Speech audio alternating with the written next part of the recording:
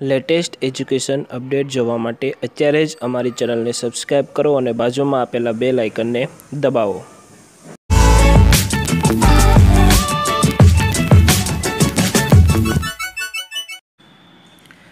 નમસ્કાર વિદ્યાર્થી મિત્રો, સ્વાગત છે દરેકનું અમારી યુટ્યુબ ચેનલની અંદર. વિદ્યાર્થી મિત્રો, આજના વીડિયો લેક્ચરની અંદર આપણે ધોરણ પાંચ, પર્યાવરણ ઓક્ટોબર બે હજાર વીસ, કુલગુણ પચીસ અને સમય એક કલાકનો આજે આપણે એકમ કસોટી ચારનું સંપૂર્ણ સોલ્યુશન જોવાના છીએ, જેની અંદર ધોરણ પાંચ પર્યાવરણ વિષય છે. હવે આગળ વાત કરીએ વિદ્યાર્થી મિત્રો, તો તમે ચેનલ પર નવા હોય અને હજુ સુધી તમે અમારી ચેનલને સબસ્ક્રાઈબ ન કરી હોય, તો સબસ્ક્રાઈબ કરી દો, જેનાથી જ્યારે પણ અમે નોટિફિકેશન આપીએ અને નવા વીડિયો અપલોડ કરીએ, તો તમને સૌથી પહેલાં નોટિફિકેશન મળતા રહે. તો શરૂ કરી વધારે સમય ન બગાડતા પ્રશ્ન નંબર એક, નીચેના પ્રશ્નોના જવાબ આપો. જેની અંદર તમને આપેલું છે કે આપણા ઘર સુધી વાપરવામાં આવતું અને પીવામાં આવતું પાણી કઈ કઈ રીતે આવે છે આપણા ઘર સુધી, એની ચાર રીત લખો. તો મેં સરસ મજાની રીત લખેલી છે ચાર રીત. જેની અંદર પંચાયતના નળ દ્વારા, એટલે કોઈ આપણી કોઈ મ્યુનિસિપાલિટી હોય જે તે, એને આપણે પંચાયત કહીએ છીએ પંચાયતના નળ દ્વારા હેન્ડપંપ દ્વારા, બોર, મોટર દ્વારા અથવા કૂવા તળાવમાંથી આપણે પાણીનો ઉપયોગ કરીએ છીએ. પ્રશ્ન નંબર બે. નીચે નીચે આપેલા પાણીનો સંગ્રહ કરવાના સ્થાન વિશે બે બે વાક્ય લખો. તો તળાવ વિશે તમે આ રીતે લખી શકો છો. સ્ક્રીન ઉપર તમે જોઈ શકો છો કે તળાવ તળાવમાંથી જે પાણી આવે છે, એનો ઉપયોગ સિંચાઈ કરવા માટે અથવા તો પીવાના પાણી તરીકે થાય છે. તે જ રીતે વાવની અંદર પણ વાવનું પાણી એ લાંબા સમય સુધી સંગ્રહ કરી રાખેલ હોવાથી તેનો ઉપયોગ આપણે ખેતીકામમાં પણ કરી શકીએ છીએ અને અન્ય આપણા ઘરના કામકાજ માટે પણ વાવના પાણીનો ઉપયોગ કરી શકીએ છીએ. તે જ રીતે કૂવાના પાણીનો ઉપયોગ ખેતીવાડીની અંદર વધારે માત્રામાં થાય છે. અને વિદ્યાર્થી મિત્રો, તમને જણાવી દઉં કે કૂવાના પાણીનો ઉપયોગ એ પશુ, પક્ષીઓ અથવા તો આપણે જે કાંઈ પણ ખેતીવાડીની અંદર કોઈ પશુ છે, તેના પીવાના પાણી તરીકે અથવા તો કોઈ વ્યક્તિને પીવાના પાણી તરીકે તેનો ઉપયોગ કરી શકે છે. વાત કરીએ પ્રશ્ન નંબર બે. તો નીચે આપેલી વસ્તુનું લિસ્ટ છે આખું એક. અને તે વસ્તુ પાણીમાં નાખતા તે ડૂબી જાય છે અથવા તરે છે તેનું વર્ગીકરણ કરવાનું તમને કીધું છે. તો પાણીમાં તરતી વસ્તુ, તો કે પ્લાસ્ટિકની બોટલ છે, કાગળની હોડી, તેલ, બરફ, બોલપેન, આ બધી પાણીમાં તરતી વસ્તુ છે.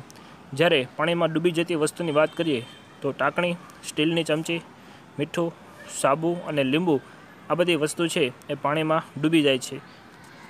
આગળ વાત કરીએ, તો મેલેરિયાના રોગ વિશે નીચેના આપેલ બાબતો આધારે માહિતી આપો. તો નંબર એક, મેલેરિયાની તપાસ કઈ રીતે થાય છે?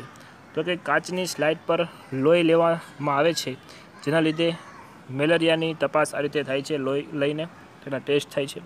નંબર બે, મેલેરિયા ન થાય તે માટે કઈ કઈ સાવચેતી રાખવી જોઈએ?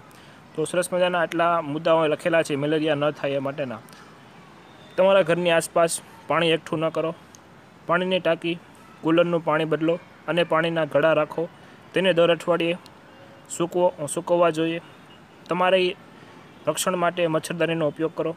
પાણી ભરાતું હોય તો કેરોસીનનો છંટકાવ કરો, જેનાથી જીવજંતુ દૂર રહે. પ્રશ્ન નંબર ત્રણ, મેલેરિયાના થયેલ દર્દીઓને કઈ કઈ કાળજી લેવી જોઈએ? આ જે પ્રશ્ન છે, તમારે જાતે તમારા ઘરના કોઈ વડીલ સભ્ય હોય તેને પૂછીને તમારે લખવાનો થશે. અથવા તમને બુકમાં પણ આપેલો છે. વાંચો, આખું ચેપ્ટર વાંચશો તો તમને ખ્યાલ આવી જશે. પ્રશ્ન નંબર ચારમાં સરસ મજાના બે અલગ અલગ રિપોર્ટ આપેલા છે અલગ અલગ વ્યક્તિઓના. એક જ વ્યક્તિઓના બે રિપોર્ટ અલગ અલગ આપેલા છે અલગ અલગ તારીખના. વાત કરીએ પ્રશ્નની, તો આ રિપોર્ટ કયા વિભાગ દ્વારા આપવામાં આવ્યો છે? તો તમે જોઈ શકો છો કે આરોગ્ય વિભાગ દ્વારા આ તમને રિપોર્ટ આપવામાં આવ્યો છે. રિપોર્ટમાં કયા રોગના વિગત આપવામાં આવી છે? તો કે પાંડુરંગ રોગની વિગત આપવામાં આવી છે. આરતીના રિપોર્ટમાં ઓછામાં ઓછું હિમોગ્લોબિન કેટલું છે? તો કે આઠ જીએમ પર ડીએલ. ચોથું. બીજા રિપોર્ટમાં આરતીના હિમોગ્લોબિનમાં કેટલો વધારો થાય છે? વિદ્યાર્થી મિત્રો, તમને જણાવી દઉં, વધારો તમને પૂછ્યો છે કે પહેલાં પછી બાર પોઈન્ટ પાંચ અને પહેલાં કેટલો હતું? આઠ. તો વધારો કેટલો છે ચાર પોઈન્ટ પાંચ. તમારા જવાબમાં ચાર પોઈન્ટ પાંચ લખવાનો થશે. પાંચમો સવાલ. આરતીનું હિમોગ્લોબિન વધતા કેટલો સમય લાગ્યો? તો કે પાંચ મહિના અને સત્તર દિવસ જેટલો સમય લાગ્યો? તમારે ગણતરી કરવી હોય તો અહીંયાથી કરી શકો છો. તારીખ આધારે અહીંયા તેર, એક અને અહીંયા ત્રીસ, છ તારીખ છે. પાંચ મહિના, સત્તર દિવસ થયા છે. હવે પ્રશ્ન નંબર પાંચ. પર્વત પર પ્રવાસ જવાનો હોય તો તમે કઈ કઈ બાબતોની તૈયારી કરશો? તો મેં મારી ભાષામાં લખેલું છે. તમે તમારી ભાષામાં પણ લખી શકો છો. તમારા આવડત મુજબ કે પર્વત પર જવાનું હોય તો સૌપ્રથમ એક બેગ અને કપડાની એક જોડી લઈ લેવાની. આ ઉપરાંત પર્વત પર ચડવા માટે ખુલતા કપડાં પહેરવા. બૂટ, ટોચ સાથે લાવી. કોઈ કે અંધારું હોય તો અંધારામાં ટોચ કરી શકાય. પાણીની બોટલ સ્વચ્છ પીવાનું પાણી લઈ જવું. પર્વત પર ચડવા માટે એક લાકડીનો ટેકો રાખો, એટલે કે લાકડી લઈ જવી. હળવો નાસ્તો રાખો, નાસ્તો કરવા માટે. ઓઢવા માટે ચાદર રાખવી. આટલી વસ્તુ, અથવા તો કોઈ ઠંડા પર્વત તરફ આપણે ઠંડા પર્વત, પર્વતો ઉપર જતા હોય, તો આપણે એ ગરમ કપડાં પણ રાખવા જોઈએ સાથે. આ ઉપરાંત ખૂબ ઊંચાઈ જવું હોય તો ઓક્સિજનનો બોટલ પણ આપણે સાથે લઈ જવી પડે. નંબર બે. પર્વત પર ચડતી વખતે કઈ કઈ મુશ્કેલીઓ આવી શકે છે? હવે આ સવાલ અહીં કે લખેલો નથી, પણ હું બોલું છું અને તમે સાંભળજો શાંતિથી તો લખતા જજો સાથે સાથે કે પર્વત પર ચડતી વખતે આપણને ગભરાહટ થાય છે, શ્વાસ લેવામાં તકલીફ પડે છે, આ ઉપરાંત માથું દુખે છે, ઉલટી જેવું થાય છે અથવા તો ઉલટી આવે છે, આ ઉપરાંત તમને તાવ જેવું થાય છે, ગભરાટને કારણે તમારું હૃદય બેસે એવું તમને અનુભવ થાય છે અથવા ભાસ થાય છે. આ ઉપરાંત અન્ય શારીરિક કારણો લખો હોય તમે એની અંદર લખી શકો કે પગ ખૂબ દુખે છે, શરીરમાં ઠાકનો અનુભવ થતો હોવાથી તાવ જેવી અસર સર્જાય છે. તો આશા રાખું છું કે આ પ્રશ્ન નંબર બે અને એકમાં ખ્યાલ આવી ગયો છે. સંપૂર્ણ સોલ્યુશનમાં પણ ખ્યાલ આવી ગયો છે. ચેનલ પર નવો હોય તો ચેનલને સબસ્ક્રાઈબ કરી દો. લાલ બટનનું, લાલ રંગનું જે બટન દેખાય છે એને ક્લિક કરી દો. સબસ્ક્રાઈબ કરવાથી તમને ઘણો ખરો ફાયદો થશે. વિદ્યાર્થી મિત્રો, ફાયદો એ પ્રકારનો થશે કે જ્યારે પણ અમે નવા એજ્યુકેશન અપડેટ આપીએ તો તમને સૌથી પહેલાં મળતા રહે.